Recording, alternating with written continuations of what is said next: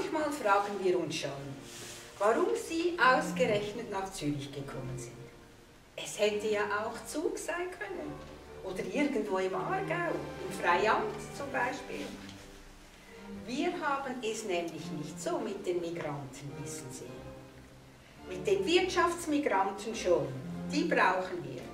Die oben und die ganz unten. Und sie kommen noch mit dem Anspruch, Gewaltmigranten zu sein. Das gefällt uns eigentlich gar nicht. Wissen Sie, erst kürzlich haben wir im nahen Rathaus entschieden, Gewaltmigranten, zum Beispiel aus Nordafrika, wollen wir nicht. Und wissen Sie, die Welt hält sich nicht immer an die Beschlüsse des Zürcher Parlaments. Leider. Das ist ein Ärger. Also, da kommen sie beide daher. Herrgott nochmal. Den Kopf unter dem Arm und aufrechten Ganges und reden erst noch deutliche Worte von Heldentum und Feigheit, von Tapferkeit und Großmäulern. Herrgott nochmal, das werden wir überprüfen müssen. Sie verstehen, das Staatssiegel gilt schon, selbstverständlich. Aber wir wollen schon sicher sein, wer da kommt. Willkommen in Zürich, Frau Regula, Herr Felix. Exuperantius, wenn es denn sein muss.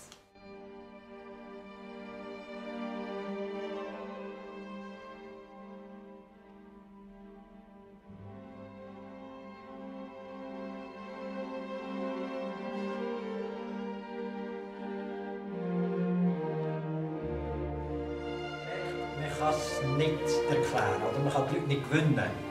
Gut, das ist natürlich dann der Vorteil, wenn man in einem Amt ist. Dann hat man ein bisschen Macht. Und dann habe ich gesagt, doch, auch bei Ihnen. Punkt. Es muss jeder einen Teil tragen und auch der Zürichberg kann einmal einen Teil tragen. Ich habe einfach ein bisschen den Stadtrat rausgehängt, oder?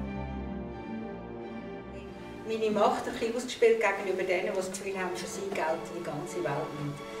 Das finde ich dann schon wichtig, oder? dass man Frust, ja, also es sind ja manchmal dann auch die Leute, die auf einer anderen Ebene wieder sehr unglücklich sind.